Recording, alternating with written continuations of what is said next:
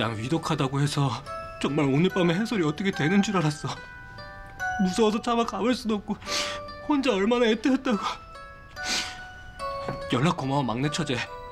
응 수고해. 애설아, 애설아. 왜 그래? 해솔이 잘못했대? 죽었대? 죽은 거냐고? 아니 위독한 고민 넘겼대. 아, 정말? 에이, 그렇다니까. 뭐야 뭐야 해솔이가 왜? 둘이 그러고 있는 거 보니까 해솔이 괜찮은가 보네. 뭐예요 부부방에 노크도 없이 뜨거운 부부도 아니면서 뭘 그래 새삼스럽게? 네? 그게 무슨 소리예요? 아 그렇게 벌컥 문 열었다 진짜 나 뜨거운 장면을 보셨으면 어쩔 뻔했냐고요 뭐? 이미 한참 전에 다시고 고드름까지 꽁꽁 얼었으면서 뜨겁긴 뭐가 뜨거워. 내 말 틀려? 뭐라고요? 와 돗자리 까셔야겠어요. 내 촉이 보통 촉인 줄 알아? 암튼 열심히들 해봐. 또 누가 알아? 고목나무에도 꽃이 피어날지? 고목나무?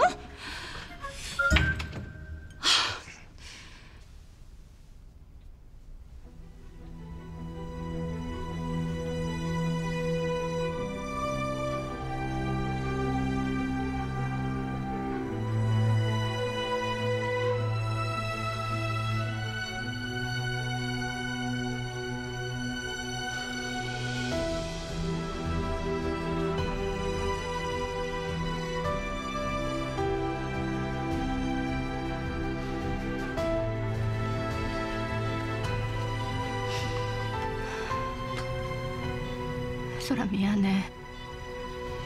아빠랑 같이 못 와서 너무 미안해. 근데 이제 기다리지 말자.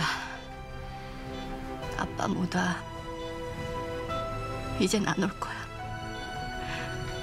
왜냐하면 해솔이가 알던 아빤 이제 없으니까.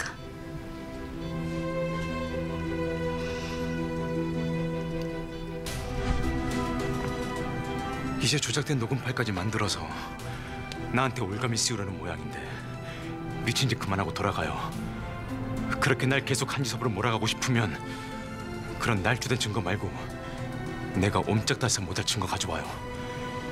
내가 한지섭일 수밖에 없는 증거. 내 아내가 아이가 졌어요.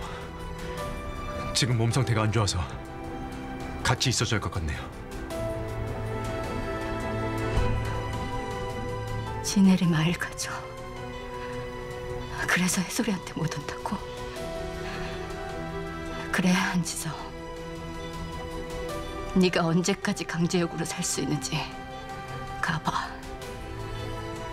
내가 당신 그 가면 벗겨내고 해솔이 앞에